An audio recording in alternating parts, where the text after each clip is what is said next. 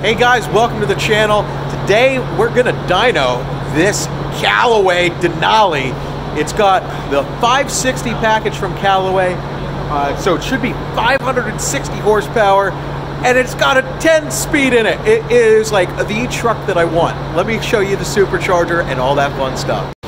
This Callaway is equipped with the special super duper Callaway supercharger. You can see supercharged 560 horsepower. At least that's that's what they're claiming. It has stock manifolds basically they're fancy Callaway intake. Yeah check that bad boy out.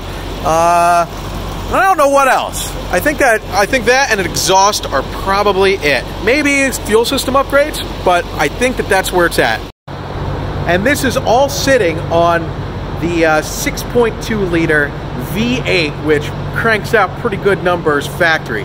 The 6.2 liter makes like, I, I, think it's like 400 horsepower to the wheels from the factory. So uh, what we're gonna do now is we're gonna get a baseline, see how she's doing, and then uh, go for the retuning. Maybe, if it needs a retune. This is actually here for a tune checkup.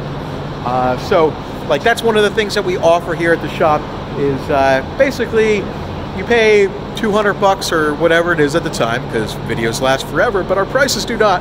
Uh, you pay that amount of money for a basically three pulls on the dyno. We read the tune, we go over it with you, and that way we can give you the uh, uh, before and after of, uh, or not before, but what we can improve. We let you know what we can improve and see if it makes sense to tune it or not. If it's a clean bill of health, we let you know, hey, it's a clean bill of health. You're good to go. And that's definitely worth $200. And if it's not, it's even worth more than that because say that there's something wrong with it and we find it beforehand, that's, uh, that's worth whatever your engine or transmission or whatever costs, you know, before it gets critical. And we've seen that before. In fact, we literally saw it on the C5 Z06 that I bought with the broken spring. Kind of wild, right? Well, let's get to it. Let's see what this bad boy, this bad boy here, puts down. I'm excited. I'm thinking if it's actually the 560, I'm thinking it should put down something in the neighborhood of 450 to 500 rear wheel horsepower through the 10 speed.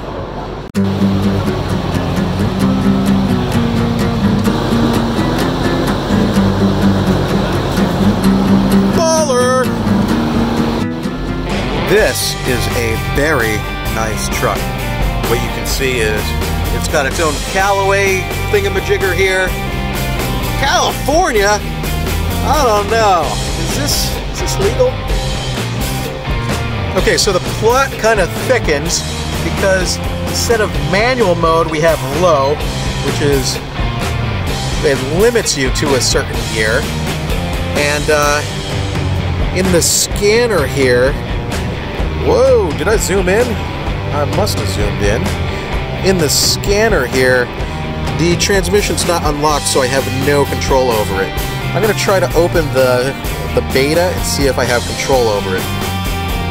Good news, in the beta, I do. I can only go up to 6 gear, which is probably faster than the cars you should be going anyway. And uh, that's excellent because otherwise we would just be shifting through the gears. Right away I see like timing's a little low. Fuel trims are fairly close, about 5% on the leaner side. Uh, but mostly it's looking pretty good. Hopefully the Callaway tune is uh, actually a good tune. Okay, we are set up and ready to go. Let's find out what she does.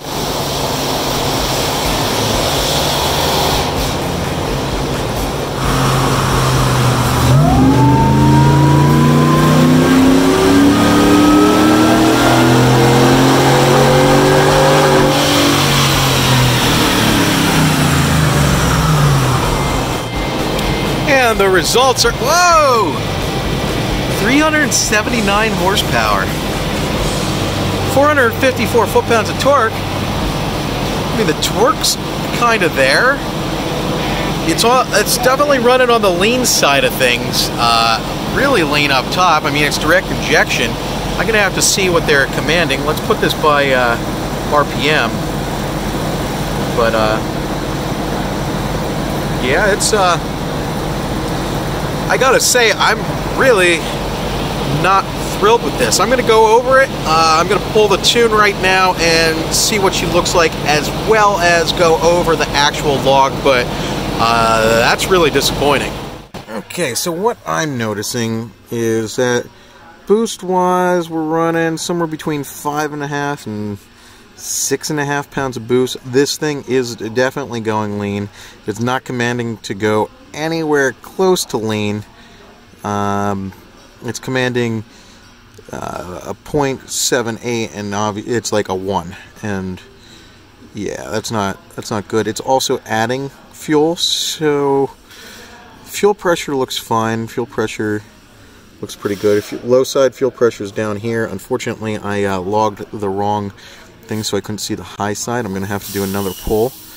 But uh, from a base pull I'd say that something's definitely up and uh, I'm gonna assume that it's just a one tune fits all thing that didn't actually fit this truck.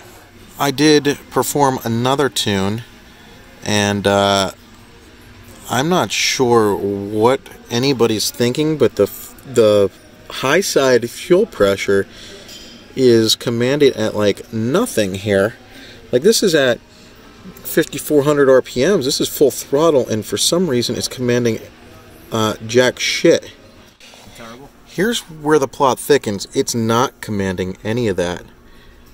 Like, it is... Unless, unless they have this thing so skewed that the air mass value... Let's see, what does it say? Air mass... Air mass is uh, it's on the lower side for what it should be doing, but it's 0.9. That uh, that should correlate all the way down here. This should be doing. This should be doing. Uh, this should be commanding this. So for some reason, it's not commanding that. It's commanding jack shit. Something's not right with this. This is a weird situation. Uh, this was one of those like tune checkups, and this is weird because it's definitely not running right. Like it's not even close to running right. Something's off. It's at least 30% off on the fueling. The high pressure side's not doing what it's commanded. Uh, mechanically, something might or might not be up. It's really, really tough to say because I don't know. We pulled the tune. We have not modified the tune in any way. Modifying the tune might do it. It might not. I'm not sure.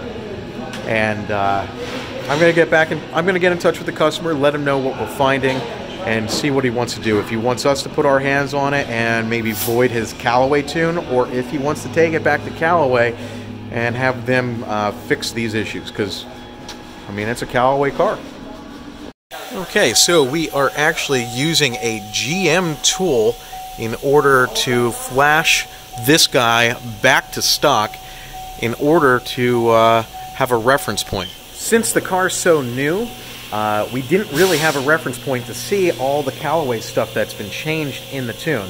Only what Callaway has for their entire tune which is the issue because I don't know if they changed something goofy that is causing it to command something different. So we're going back to stock to find out what exactly is done and uh, resolve that. So power enrichment here is somewhere around a 12-5-ish air-fuel ratio if you're talking about uh, complete gas. And uh, with the Callaway calibration, it's uh, a bit richer than that basically an 11.6-ish or so. And uh, I, I don't really see any great reason except that the MAF calibration is way the hell off. The, uh, timing seems to be 15-ish degrees, which is that 15 degrees should be about what the factory does, but then it's got some other adders that kind of, you know, goof that up. I think this thing's just really in need of a real tune, not this, like, bullshit that they put on. So from factory, this is the factory high pressure side. This is the thing that is causing me the most uh, aggravation here because it's like locked in on four or five or so. Locked in on four for some reason. Even commanding a 4.2. That's this number here. So it's that's the weird thing that I'm running into where that's not the calibration. It's only up here where the cylinder air mass is really, really low. And the calibration there was even higher, so truthfully, it should have ran just fine. So now after making some light adjustments to the factory tune, we are going to run it again. Um, I did take into account some of the MAF calibration issues that I was seeing, and uh, hopefully this will have things sorted out.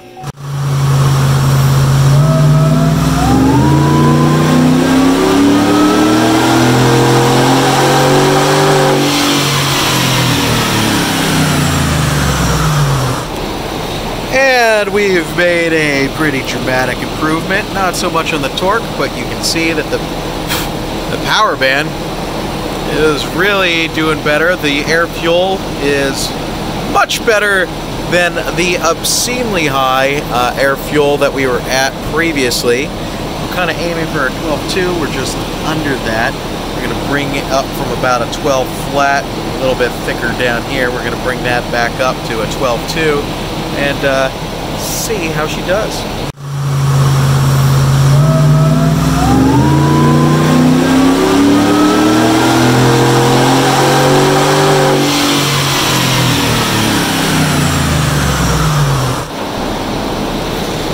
So we might be coming in close to about 100 horsepower over where he came in at. That's pretty good. We're getting there. So the owner of this beautiful car, which I am now thinking of Denali instead of Escalade, uh, said that he was having some weird shift issues. Now a lot of that has to come from the engine tune, because the engine basically tells the transmission how much torque is going on, what kind of demand, all that fun stuff. Um, like it's not all. It's usually shift issues are not from the transmission tune. It's from the engine tune not telling the transmission accurately what's coming at it.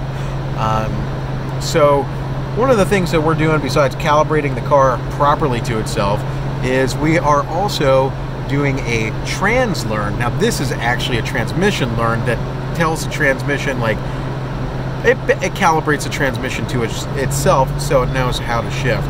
It's called a trans fast learn and uh, we're doing it right now. It does some silly shit and it feels really weird on the dyno. As it's learning, it's flashing the check or the drive light, not a check engine light that it's flashing, it a drive light. And basically, I am charged with watching the trans fast learn status. This guy right here as it's calibrating drive. Kind of wild, right? And what it's doing now is it's purging out all 10 gears and then finding the exact engagement of it so it knows the transmission because the transmission wears over time. So this is one of those cool little services that you can do to help your transmission shift properly and uh, crisply, if that's a word, crisply, crispy, crisply? Doesn't sound right.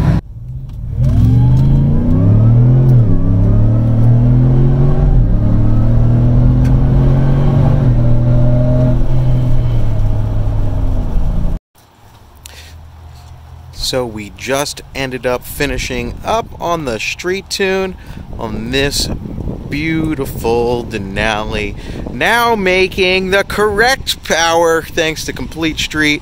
Looks like all it needed was a tune.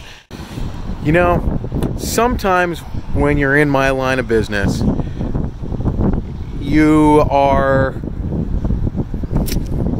you're the hero and today we were today we were the hero Today we took a car that was not running right uh, at no fault of our own or the customers and uh, made it into something special. And that's not something that happens every day. It happens a lot here. Uh, but sometimes you're in the middle. Sometimes you are not the one that is the hero. Sometimes the next guy is. And that's just uh, what it's like in the performance industry because there's no rule book, there's no like guide to doing this thing correctly. Uh, there are things that we've learned along the way to help increase our ability to do things properly and uh, efficiently. And but sometimes on the new cars like this 2019, there's curveballs. There's things that you need to address, and likely that's what Callaway got bit at because uh, Callaway seems to have things running properly most of the time. And I did see some things in the tune that kind of suggested that, well, maybe they're basing it off of a 2018 or 17 or something like that, and it just did not coordinate with the 2019 properly. And uh, by cleaning things up, going back to the factory tune and building it from scratch, I think that we made a really good improvement. Obviously, we did because with no changes mechanically to the car, we picked up about 100 rear wheel horsepower and like 50 foot pounds of torque. So that's pretty damn good. Uh, and then on the street, the concerns that the customer had was uh, I saw that on the street and was able to uh, resolve them pretty quickly. Uh, I don't know if there's any other ones because uh, uh, the customer has to drive it and he'll give me his feedback and if we need to touch things up, we will, but if we need to do a trans tune, we also will do that then by sending out the computer because they are locked from the factory and they have to be sent out for what they call an unlock service. Yay! This is one of those other great reasons why bringing your car to Complete Street Performance uh, or maybe your local uh, performance shop that specializes in your car, not some, you know, jack of all trades. I find that that's usually the wrong thing to do, but uh, taking it to somebody that specializes in it to evaluate your car. Like this was here just for evaluation, and uh, uh, honestly, we found some things that needed to be done. We have the ability to do it. We have the ability to flash to a GM factory stock tune, which is uh, something that not every shop has. I mean, we have the equipment because we find that we need it once in a while. Most of the time you don't, but here we are at a 2019 with nothing in a repository. And uh, yeah, we're able to do some pretty good things uh, here, and we were able to take care of the customer. Um, I was hoping that we'd just be giving them a clean bill of health for, right away, but unfortunately, that's not how it came down. Uh, again, this is no fault to Callaway. I think that Callaway uh, put some good products on the car. I uh, um, and they have a warranty, which is something that you know the rest of us don't really have or offer. Um, so, you know, there's definitely a benefit to having a Callaway uh, car, but I mean, for me, I think I could blow the car up, fix it, and uh, still be under budget from the Callaway. Woo! So we're gonna head on out now. It's raining, it's Friday, and I am happy for the week to be over. I hope you guys have a great uh, weekend. You know what? I'm probably airing this randomly. Don't know when. I know that uh, we have like three other videos or four other videos before this one even airs. So I have no idea when I'm going to air this, but I hope you guys enjoy your night, weekend, month, year, whatever. Have a great one, guys. Adios.